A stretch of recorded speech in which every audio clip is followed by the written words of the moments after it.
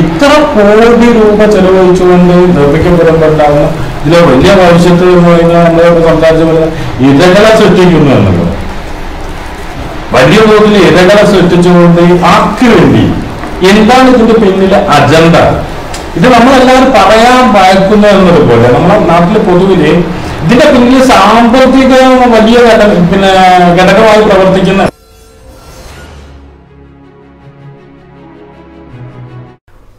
കേരളത്തിലെ ഏറ്റവും വലിയൊരു സൗകര്യം അതിന്റെ വിഭവ സാധ്യതയാണ് യഥാർത്ഥത്തിൽ ഒരു ജനതയ്ക്ക് പുരോഗമനത്തിനാവശ്യം ഒരു രാജ്യത്തിന്റെ പുരോഗമനത്തിനാവശ്യം അതിന്റെ അടിത്തട്ട് വിഭവങ്ങളാണ്. അതിന്റെ ആ വളരെ സമൃദ്ധമായൊരു സ്ഥലമാണ് പ്രദേശമാണ് കേരളം.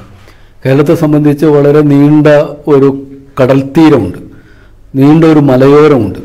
അതിലൊരു ഇടനാഴിക പോലെ വയലായിട്ട് നീർത്തടങ്ങളായിട്ട് ഒരു നീണ്ടു കിടക്കുന്ന പ്രദേശവും ഉണ്ട്.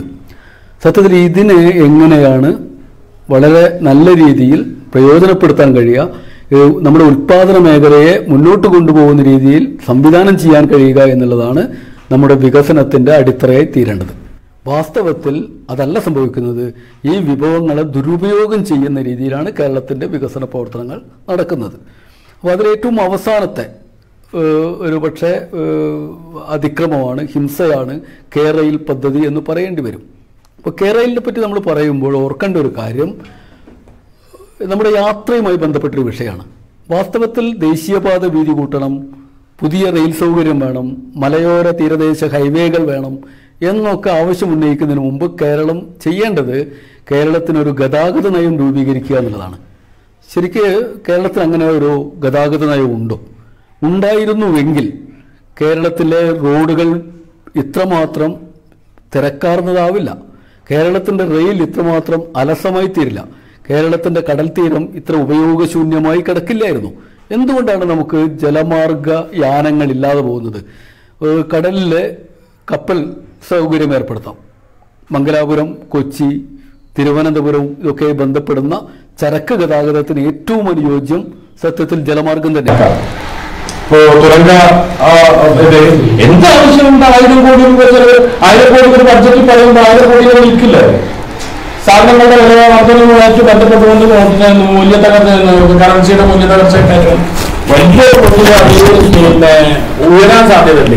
ഒരു പതിനാല് കിലോമീറ്റർ യാത്രാ സൗകര്യത്തിന് വേണ്ടി ഇത്ര കോടികൾ ചെലവഴിക്കപ്പെടേണ്ട ആവശ്യമുണ്ടോ.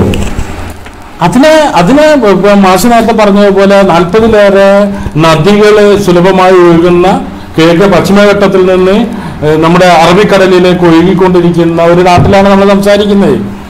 അത് ശാസ്ത്രീയമായി ഉപയോഗപ്പെടുത്തിയാൽ വളരെ ഇപ്പോൾ നമ്മളെ കോഴിക്കോട് എന്നിട്ട് നമ്മൾ സംസാരിക്കുന്നത്. നമ്മുടെ കനോലി കനാൽ ഈ കനോലി കനാല് യാത്രാ സൗകര്യത്തിന് ഏർപ്പെടുത്തി കഴിഞ്ഞാൽ പെരുവണ്ണാമൊഴി വരെ ഇതിലൂടെ ചരക്ക് ഗതാഗതം നടത്തും മുൻപ് നടത്തിയിരുന്നു എന്നാണ്? കേരളത്തിലെ ഇ എം എസ് ഗവൺമെന്റിന്റെ കാലത്ത് നമ്മുടെ നദീ സംയോജന പദ്ധതി അങ്ങനൊരു വികസന സംരംഭം നടന്നിരുന്നു.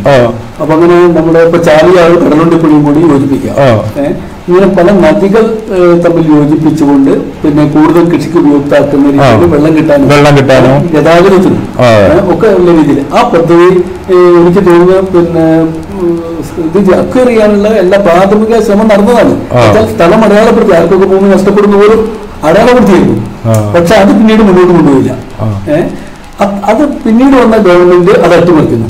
ഇപ്പോൾ ഒരു കാര്യം നേരത്തെ കെ എസ് ആർ ടി സിയുടെ കാര്യം പറഞ്ഞല്ലോ ഒന്ന് ആലോചിച്ച് K S R T C അട്ടിമറിച്ചതാണ് ആ ഇപ്പോൾ വന്ന ദുരന്തത്തിലേക്ക് എത്തിക്കുന്നത് ഈ K S R T C പോരുന്ന പാതകൾ പ്രത്യേകിച്ച് ഇവിടെ നോക്കിയാൽ വയനാട് പാത. Kozhikode Wayanad route റൂട്ടായിരുന്നു. K S R T C ഉണ്ടായിരുന്നുള്ളൂ. അവിടെ ഇപ്പൊ പ്രൈവറ്റ് വേണം. എന്ന് മാത്രമല്ല ദീർഘദൂര യാത്രകൾ. K S R T C മാത്രമേ ഉണ്ടായിരുന്നുള്ളൂ. അതെന്ത് വെച്ചാൽ ഫാസ്റ്റ് പാസഞ്ചർ സൂപ്പർ ഫാസ്റ്റ് ഒക്കെ പ്രൈവറ്റ് മേഖലയിൽ കൊടുക്കാൻ തുടങ്ങി. ഇത് ആർക്ക് വേണ്ടിയാണ് സ്വകാര്യ സാമ്പത്തിക ശക്തികൾക്ക് അനുകൂലമായ ഒരു ഭരണകൂട സമീപനം തകർത്ത് കളഞ്ഞതാണ് നമ്മുടെ പൊതുമേഖലയെ മുഴുവൻ നമ്മുടെ K S R T C ഉൾപ്പെടെ അതെ യാത്രാ സാധാരണ മനുഷ്യന്റെ യാത്രാ സൗകര്യങ്ങളെ പോലും റദ്ദ് ചെയ്തു. അതായത് നമ്മുടെ യാത്ര സംബന്ധിച്ച് ഒരു ഗതാഗത നയം ഗവൺമെന്റ് ജനങ്ങളുടെ പക്ഷത്ത് നിന്ന് രൂപപ്പെടുത്തേണ്ടതിനു പകരം കോർപ്പറേറ്റുകൾക്കും വലിയ ധനകാര്യ സ്ഥാപനങ്ങൾക്കും നമ്മുടെ യാത്രാ സൗകര്യത്തെ പണയം വെക്കുകയാണ് കാലാകാലങ്ങളിൽ സർക്കാരുകൾ ചെയ്തത്? ഇതാണ് ഇപ്പോഴും ചെയ്യുന്നത്. ഇപ്പോഴും പുതിയൊരു യാത്ര സൗകര്യത്തെ കുറിച്ചല്ല അതിന്റെ ജനകീയ വികസനത്തെ കുറിച്ചല്ല ചിന്തിക്കുന്നത്.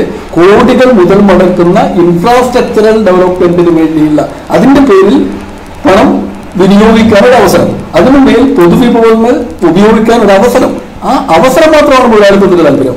ആ അവസരമാണ് മുതലാളിത്തത്തിന്റെ ദല്ലാവർഗത്തിന്റെ താല്പര്യം. അതിന്റെ ഭരണകൂട താല്പര്യം അത് തന്നെയാണ്.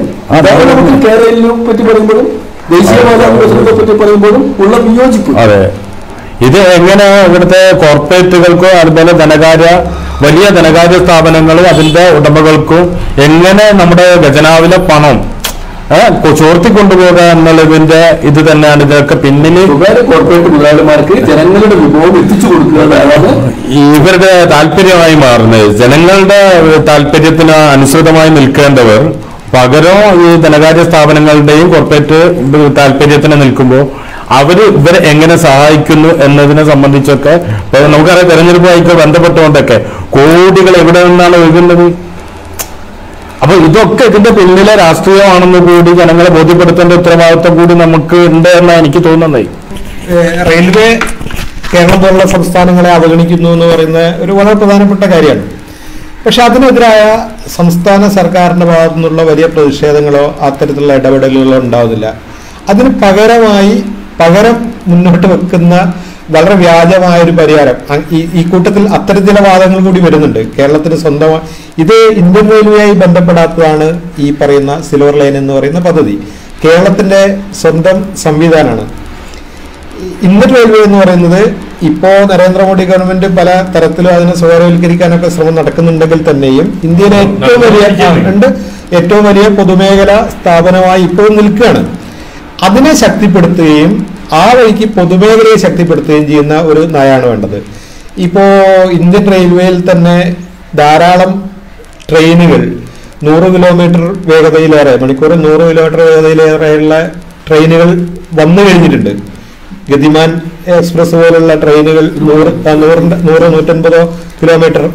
എന്നിട്ടാണ് ഇപ്പൊ നൂറ്റി മുപ്പതോ നൂറ്റി മുപ്പത്തഞ്ചോ ആണ് ഇതിൽ തന്നെ ഇപ്പോ സിൽവർ ലൈനിൽ അവർ പറയുന്നുള്ളൂ. അല്ല ഇന്ത്യയിൽ ഇരുന്നൂറ് കിലോമീറ്ററിലേറെ സ്പീഡിൽ പോകുന്ന രണ്ട് മൂന്ന് റൂട്ട് ഉണ്ട് ഇപ്പോൾ അതെ അതെ. അങ്ങനെയുള്ള ചില റൂട്ട് ഇന്ത്യൻ റെയിൽവേയിലുണ്ട് ഇപ്പൊ കേരളത്തിലെ റെയിൽവേയുടെ സ്പീഡിന്റെ കാര്യത്തിൽ അത്തരം കാര്യങ്ങളുടെ പ്രശ്നത്തെ പറ്റി നേരത്തെ നേരത്തെ റെയിൽവേ ബോർഡിന്റെ ചെയർമാനായിരുന്ന പ്രസാദ് നേരത്തെ മരിച്ചു എന്ന് തോന്നുന്നു. അദ്ദേഹമൊക്കെ പറഞ്ഞിട്ടുള്ള കാര്യങ്ങളുണ്ട്. സിഗ്നൽ സിസ്റ്റത്തിന്റെ പ്രശ്നം. നിലവിലുള്ള വളരെ പ്രാകൃതമായ സിഗ്നൽ സിസ്റ്റമാണ് അതിനെ നവീകരിക്കാനോ ആധുനീകരിക്കാനോ ഉള്ള ഒരു ശ്രമം ഉണ്ടായിട്ടില്ല. രണ്ടാമത്തത് ഇപ്പോൾ തന്നെ മാഷ് പറഞ്ഞ പോലെ വളരെ വലിയ കേരളം കണ്ടിട്ടുള്ള ഏറ്റവും വലിയ അഴിമതി നടക്കാൻ പോവുകയാണ്. അറുപത്തയ്യായിരം കോടി എന്ന് സർക്കാർ പറ അല്ലെങ്കിൽ എഴുപതിനായിരം കോടി എന്ന് ആ, കണക്കുകളിൽ ഇപ്പം പറയുന്നുണ്ടെങ്കിലും അത് ലക്ഷങ്ങൾ ലക്ഷം കോടിയിലേക്കാണ് പോകാൻ പോകുന്നത്. അത് അവിടെ നിൽക്കട്ടെ. ഏറ്റവും ചുരുങ്ങിയ വിലയ്ക്ക് തന്നെ ഇതിന്റെ കമ്മീഷൻ? ഇതിന്റെ വ്യവസ്ഥയ്ക്ക് അകത്തു നിന്നുകൊണ്ട് തന്നെയുള്ള കമ്മീഷൻ പത്തോ പതിനഞ്ചോ ശതമാനം വളരെ മിതമായി പിന്നെ കൈമാറ്റം ചെയ്യപ്പെടുമെന്ന് എല്ലാവർക്കും അറിയാം. അതിന്റെ അതിന്റെ അർത്ഥം ആറായിരത്തി അഞ്ഞൂറ് ഏഴായിരം കോടി രൂപ ഇതിന്റെ പേരിൽ കേരളത്തിലെ ഉദ്യോഗസ്ഥന്മാർ രാഷ്ട്രീയ നേതാക്കൾ ഭരണകക്ഷിക്കാർ ഒക്കെ എല്ലാവരും എല്ലാവരും പങ്കിട്ടെടുക്കുന്നു പറയുന്നു. ഇതിൽ പറയുമ്പോ ഒരു പദ്ധതി ഇവർ മുൻകൂട്ടി കാണുമ്പോൾ തന്നെ ഇവരാദ്യം പൊതുബോധ നിർമ്മിതി രൂപപ്പെടുത്താണ് ഇത് വന്നാലേ ഇനി കേരളത്തിന് വികസനമുള്ളൂ എന്ന തരത്തിലുള്ള ഒരു അവബോധം ആദ്യമേ പ്ലാന്റഡ് ആയിട്ട് ഈ കേരളീയ സമൂഹത്തിന്റെ മനസ്സിലേക്ക് പതിപ്പിക്കാം.